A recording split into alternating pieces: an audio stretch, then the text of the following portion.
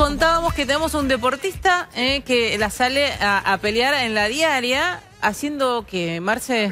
De tiene que ver con que él, siendo campeón argentino en esta pandemia, no puede practicar su actividad, se las rebusca vendiendo empanadas en la zona de Florencio Varela. ¿Lo querés conocer? Obvio que ¿Eh? sí. Y bueno, entonces vamos a saludarlo.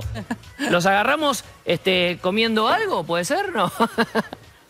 Sí, acá le preparamos al equipo para que prueben. Pero mirá qué maravilla.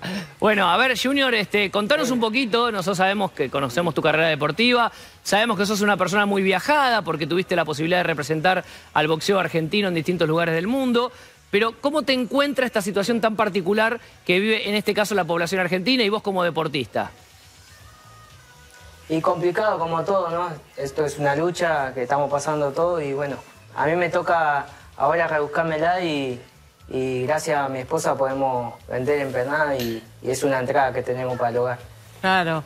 Junior, y eh, veo que también está el, el- el cinturón ahí arriba de, de la mesa, eh, el, el orgullo el- el Sí. de, de ser campeón argentino. Te- a- hay que ver si conseguimos el cinturón de las mejores empanadas argentinas. Ahí habría que entrar otra competencia.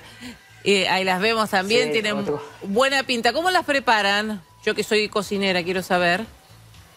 Y todo caserito. Yo hago la masa casera y el relleno todo también lo hago acá en casa. Sí. Eh, así que sale todo bien, gracias a Dios. Car- carne, cebollita.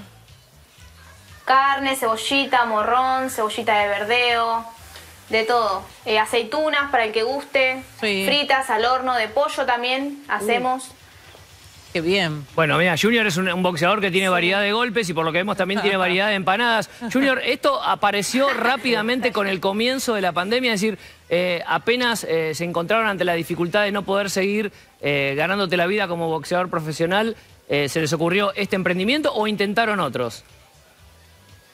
Eh, bueno, yo de en la semana salgo a hacer changuita de lo que me inviten, ya sea de carpintería, albañilería, pintar, lo que salga, ¿no?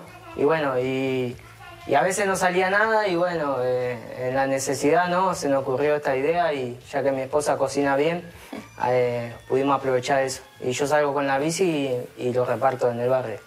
Totalmente.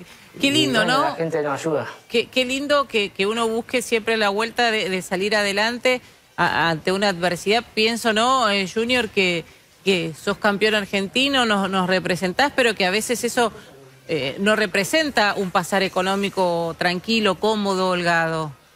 No tenés todo Y asegurado. el deporte, sí, está complicado para los deportistas, no solamente en el boxeo, sino no, en todas las disciplinas, ¿no?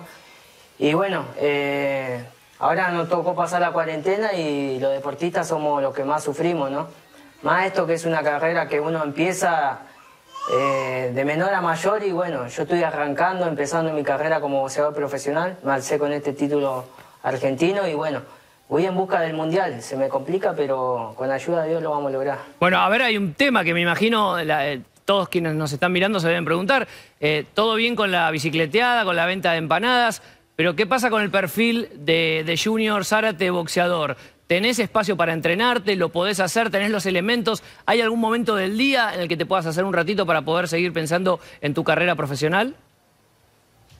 Y es una lucha, ¿viste? Porque tengo que luchar los dos frentes. Mi familia, sustentar a mi familia y también mantener mi carrera como boxeador profesional.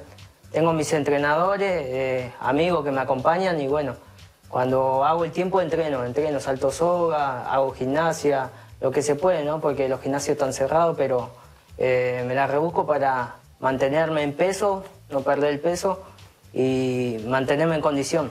Entonces, que no, muchas empanadas empanada me- me eh, no comes para mantenerte en peso. Y es una tentación, es otra verdad que son muy ricas y siempre me la estoy morfando. Bueno, escúchame, Junior, lo que tiene de bueno es que sos una persona que tiene peso muy liviano. ¿Sabés, Domi, que la categoría de Junior es la de 50 kilos 800? Estamos hablando de que es Así una es. plumita, o sea que no, empanada más, empanada menos, no creo que te cambie Ah. demasiado el presente. Y un kilo eh, es letal, es como 10 kilos, ¿viste? Por ser categoría chica me cuesta mucho, entonces hay que mantenerse, ¿viste? Hay que ¿Tienen, mantener. Cuanto menos harina, mejor, sí, ¿viste? ¿Tienen chicos ustedes? ¿Tienen hijos? Tenemos una nena, sí. Una ahora bebé, está descansando y tiene cuatro años, así que eh, gracias a Dios ya está grande y bueno, un descanso menos, viste, para poder seguir. Para poder seguir. Junior, ¿y, y cómo, cómo se llaman Sí. las empanadas? ¿Cómo, ¿Cómo la gente los, los contacta? ¿Tienen un nombre, una, un Instagram, algo?